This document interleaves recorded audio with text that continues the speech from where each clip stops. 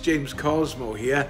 Uh, I've heard that there's a, a new comic coming out and it's called Hellbringers Dawn of the Devil.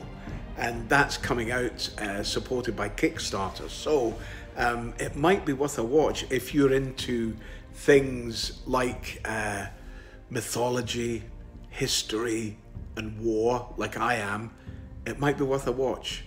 Take care. Bye bye. Hi, Mark May.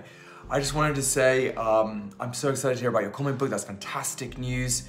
You know, I mean, obviously it's going to be an, an intense, uh, intense comic book. It sounds a little bit like Hieronymus Bosch. I don't know if that was an influence for you, but I absolutely am so impressed that you managed to get something done during the lockdown. A lot of people have really struggled to be productive during this period of time. So well done you.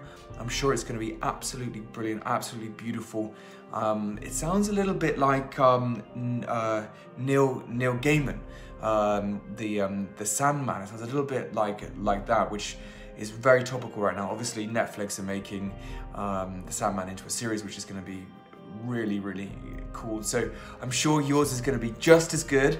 And congratulations.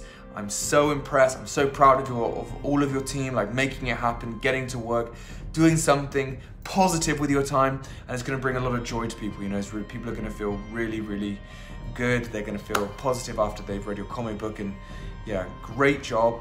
Keep it up. I'd love to read a copy myself. Uh, you know, you can always um, message me on Instagram. I've I've taken uh, I've taken a week off just to like reset. Sometimes Instagram can be, can be totally and utterly um, all consuming. So I've, I've, taken a week off, but in a, in a, week or so I'll see it, and I'd love to see some stuff on on the internet about um, Hellbringer. So so so so go for it, and congratulations!